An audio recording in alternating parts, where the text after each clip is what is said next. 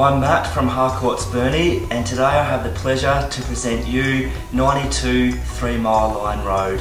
Here you will find a stunning property which represents great buying. It's only a couple of years old and offers low maintenance living. There is a beautiful kitchen with open plan living leading to a great deck.